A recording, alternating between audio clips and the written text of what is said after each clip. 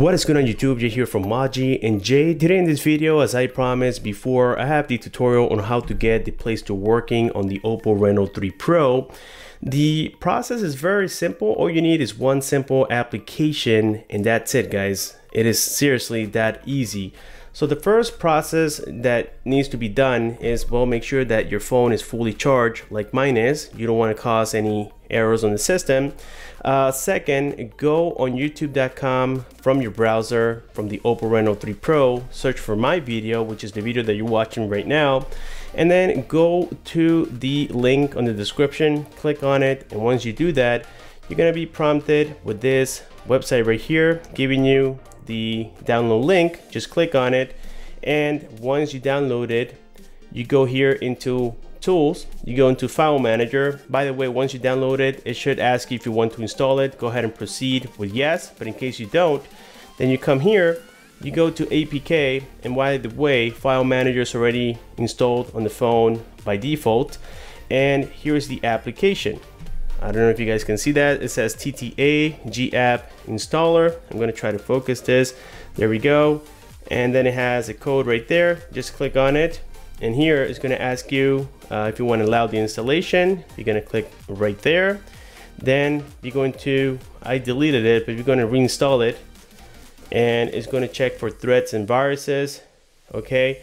And it's going to give you this message. Don't worry. Just click on ignore uh, risk and install anyways. And click install once again. And there we go. We have done the most uh, difficult process. Now go ahead and open the application. And here we have it. it says TTA Google App Installer. So here as you guys can see, it starts from Android 6 all the way to Android 10. It is obvious to say that this device has Android 10, so you're gonna click right on it. So the first thing here that you want to install is the Google Play Store just because of the fact that you need to log into it before you can get the other stuff installed. So click on it and then from here, you're going to allow the installation. In my case, I already installed it and it's asking me if I want to reinstall, but I don't want to do that. I could cause system errors. So in this case, I'm going to cancel, but in your case, you're going to proceed with the installation. And once it has been finalized, you're going to see the Play Store on here. So now you go ahead and log in. Again, in my case, I'm already logged in. And after you do so, you go back into the application once more, which is right here, and it's going to load up. You click Android 10 once again, and uh, at this point, you're going to go ahead and download uh, Google Account Manager as well as Google Contact Sync. If you don't do this, your contacts are not going to be synchronized with the phone. So again, Google Account Manager and Google Contact Sync. The Google Service Framework is already installed on here, so you don't have to worry about that. As a matter of fact, we try it and we click on allow, it says that it's broken. The APK is damaged. That's because you have a newer version of it.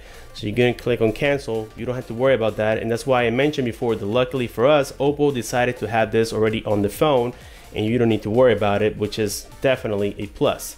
So then after that, it is optional. You can go ahead and download uh, the Gmail application, or you can just go ahead and download it directly from um, your Play Store. And lastly, if your contacts are not syncing, then you go here into accounts, you go into Google, and as you see, I have an error already. So I'm gonna go ahead and uncheck it and check it again. And the same thing I'm gonna do for my other one.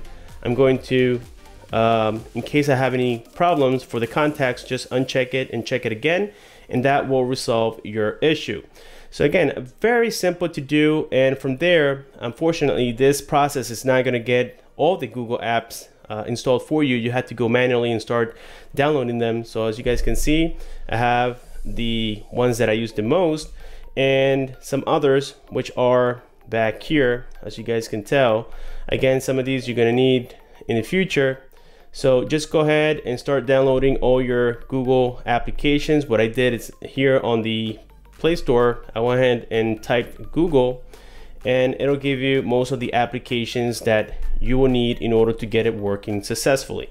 So as you guys can tell, the process is super, super simple. Um, at this point, you're basically done. You can go ahead and delete the application uh, or the Google installer that we downloaded before.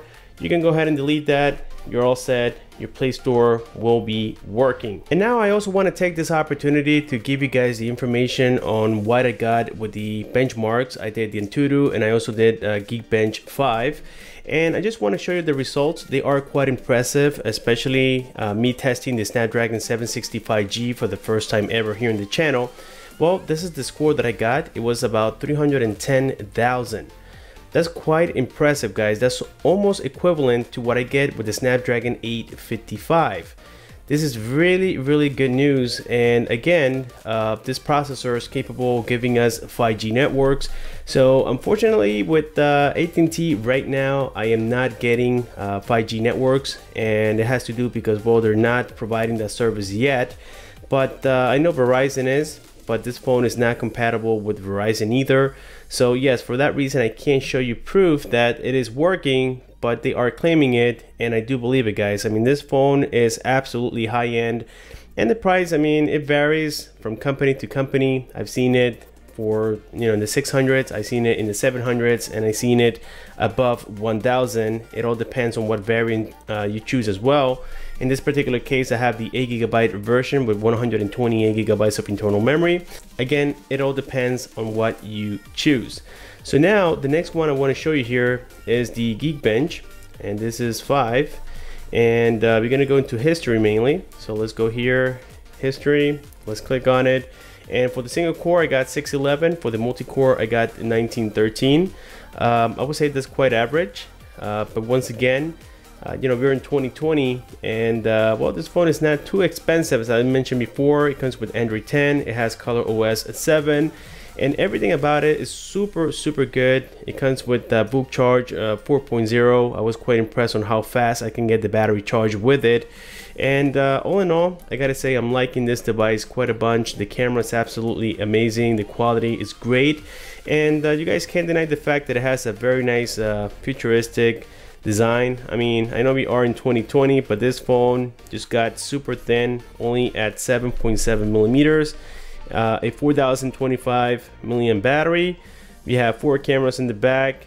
Very nice uh, tricolor finish here. Uh, so I think that Oppo is definitely heading towards the right direction when it comes to high-end phones at a very affordable price.